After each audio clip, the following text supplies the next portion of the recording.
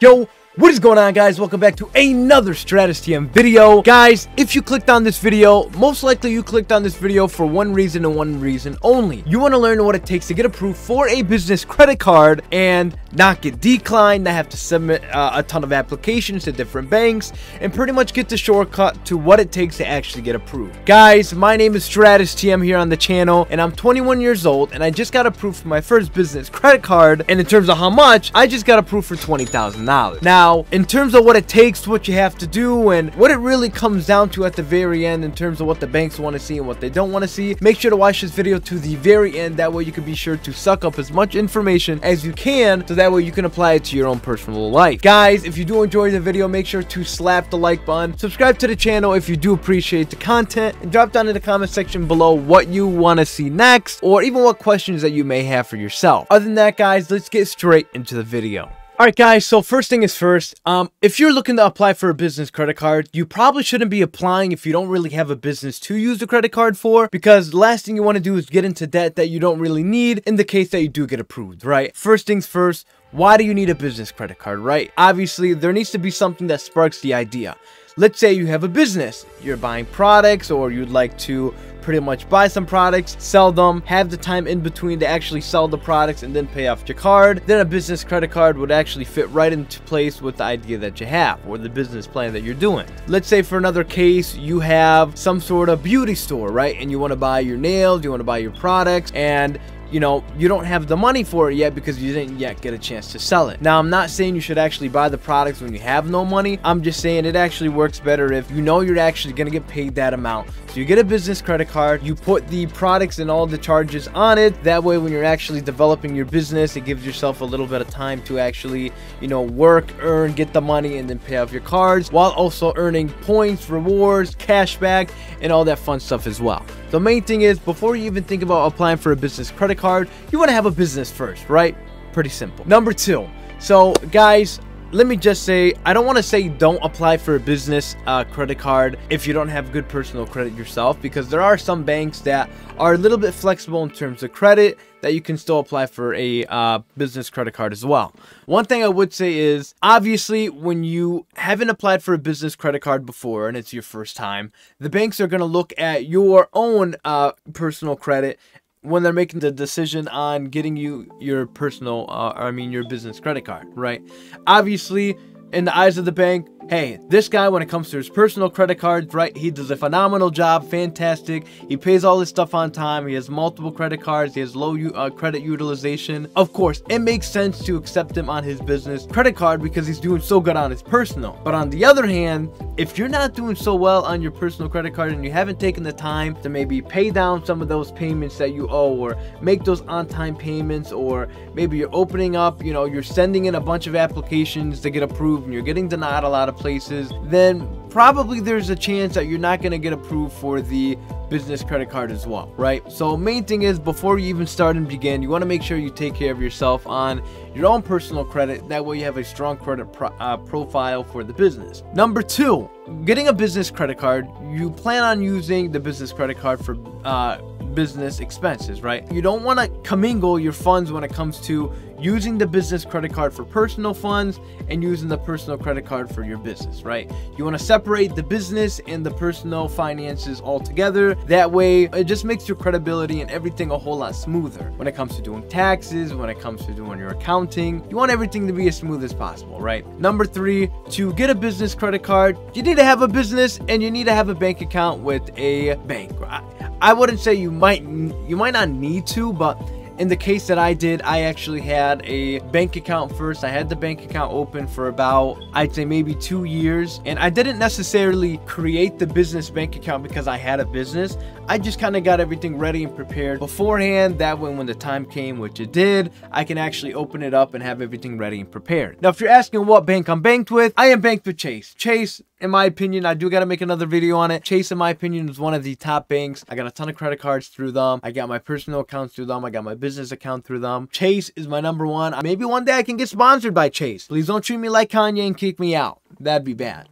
Um, but number four, when it comes to getting a business credit card, you have to know how to fill out the application. A lot of these things when it comes to applying for credit cards are automated, right? So you need to make sure that you are filling it out correctly and you're knowledgeable in the application process. That way you can enhance your ability to get approved the best, right? Now, I'm not saying to fill it out with information that's not true, but for example, when it starts to ask you questions like, what is your annual salary, right? You want to have some sort of salary or some sort of income before you apply because the bank is going to base that on the fact that, hey, is he making enough money to pay down the card for the, you know, the amount that will approve him for? Because if you put you're only making 5000 a year, chances are you're not going to have a good chance of getting approved, right? Compared to maybe if you're making six figures and you put a hundred thousand, they might even lean a little bit more towards that, especially if you got some nice personal uh, history as well. That's another thing I'd say, right? Know how to fill out the application in terms of what you plan on. You know, in some banks, if they ask you what you plan on uh, using the business credit card for,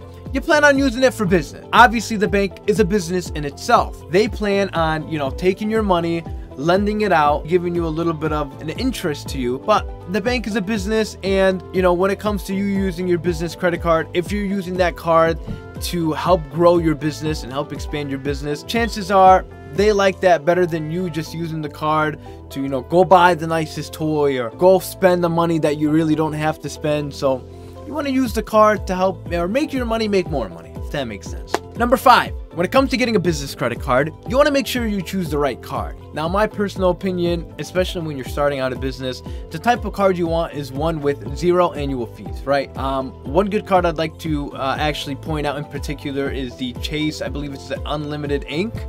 I believe it's the Chase Unlimited Ink. Actually, I'm just to go check real quick on my phone at the new card I got approved for, just so that way I can give you guys accurate information.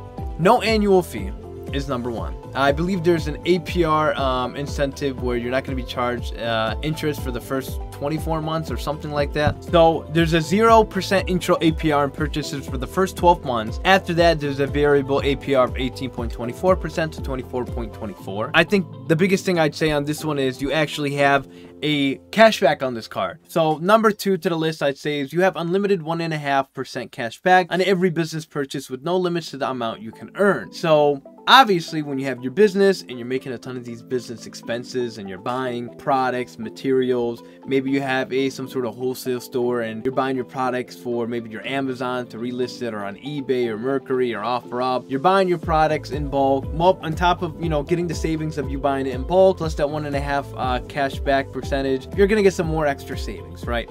So the extra cash back is just gonna be putting more money in your pocket on the money you spend. Another thing you get is obviously right now looks like they have a a uh, incentive. Uh, earn $750 bonus cash back after you spend $6,000 on purchases in the first three months after an account opening, right? So if you're already spending the money for your business, right? You might as well get a free $750. Do you need it? Maybe not. Or maybe you do need it, right? So you might as well take advantage, take the opportunity, get the 750 and go buy yourself a nice pair of shoes or something. Who knows? Next thing, earn rewards faster with employee cards at no additional cost. When your employees purchase, your business earns cash back. So it's actually pretty neat. It looks like you can actually get employee cards for your business as well. That way you can keep your own credit card with yourself. And if you have, you know, a certain amount of employees, of course, that you trust, that we don't go out cashing out, maxing out your limit, you can actually give them a card so that way they can perform your business actions on your behalf as well. Account management. So easily track expenses and maintain records for tax reporting and other business needs. Integrate your Chase Ink credit card with bookkeeping software to simplify accounting. So guys, me myself, I do have the Chase app. I can actually monitor all my expenses and everything that I use, my statements, all from my cell phone, right? So I can check my bank account, I can check my credit card, I can make my payments, set up my automatic payments, request a credit increase all from the app. So it's very simple, very e easy to use. It's something that I'd recommend for some of the people that are just starting out just because of how simple and how easy they make it. The next one on the list, biggest thing like I told you, there's no annual fee, right? No annual fee, enjoy all the benefits of Ink Business Unlimited without having to pay a fee each year. You don't have to pay the fee, you can keep the card open. It could be just one of your first uh, business credit cards. And of course, you have the opportunity to build and grow as you develop and build your business. Those are just a few rewards uh, or a few benefits of the credit card itself. Obviously, the reason why I chose Chase and why I felt like Chase was the best for me is because I've already built a relationship with the issuing bank that I got the credit card for. I have checking accounts with Chase, I have credit cards with Chase, I have a business bank account with Chase. I've lined up all my ducks, right?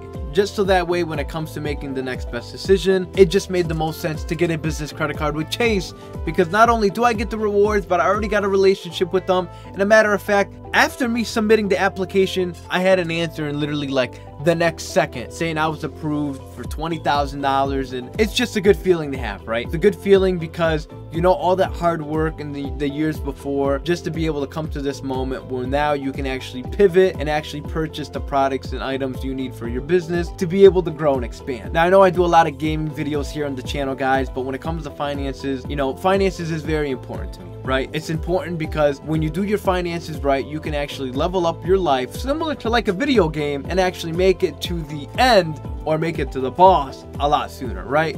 which of course our goal for everybody which probably like yourself is to reach financial freedom that way you know you can have you know businesses set up streams of income and everything lined up starting as simple as credit card. that way you can be sure to live a nice successful life other than that guys uh, I mean, when it comes to getting a credit card, just a few things I'll tell you. Obviously, there's five main important factors when it comes to maintaining a good credit record, which I always like to go over just so that way it's very clear to my audience what you can do today, even if it's with a personal card, to be able you make the best choices so that way you have the best odds of getting a great approval with a business credit card, right? When it comes to building credit, right? And I'm to have my list, another list right over here as well. So in terms of getting the building your credit, there's five main important factors. Number one, main important factor is to be your payment history. If you make on-time payments with the bank, pay them on time every month, every single month, year after year after year. Never have a month where you pay late. Never have a month where, you know, you're not only are you paying late, but don't just make the minimum payment. I understand if you need to, but it will kind of cut down into your credit utilization, which I'll get into in just a few minutes. But the main thing is you don't want to pay late. You want to pay on time. It's pretty simple. Even if you got to pay that minimum payment, pay it. Pay it pay it. Even if you have to make your minimum payment, paying that will make the biggest difference, right? Because the second you get a late payment, it's to affect your credit dramatic. Now, sometimes you can actually reach out to the credit bureau, make some sort of deal or bargain so that way they can remove it. But why even put yourself in that mess if you don't even really have to, right? Make sure you pay your payments. If you can't pay your payments, don't get a credit card. Number two is amount owed, all right? So amount owed is to be pretty much like your credit utilization, right? If I have a credit card for a thousand dollars, you don't want to use a thousand dollars and owe a thousand at the end of the month, right? And just make your minimum payment. If you owe, use a thousand of a thousand, using a hundred percent. If I got approved for a ten thousand dollar credit card and I'm using five thousand every month, then I'm using fifty percent of my credit, which is fifty percent credit utilization. Typically, what the banks or what the credit card companies like to do is they like you to be really less than thirty percent of your credit utilization. And by thirty percent, I really mean mean less than 15 10% right because the more you have, it might knock off a few points. You'll actually see when it comes to monitoring your credit, when you're looking at like Credit Karma or Credit Sesame or Credit Journey through Chase. So make your payments on your credit cards. Don't get credit cards just to max them out. Get them and just pretty much use them for what you'd use as your everyday spending. For example, gas, uh, grocery shopping, um, maybe you know some simple food or instead of paying it for cash use your credit card pay it off through your bank account earn those cashback rewards. And once you're in those cashback rewards, you'll use them on, uh, I don't know, maybe getting a cup of coffee or maybe using it to uh, join my membership on my YouTube channel. Who knows? Which I am growing and building every day. Um, but that that's what you'd want to typically do when it comes to credit utilization. Point number three is your length of credit history. Think about it, right?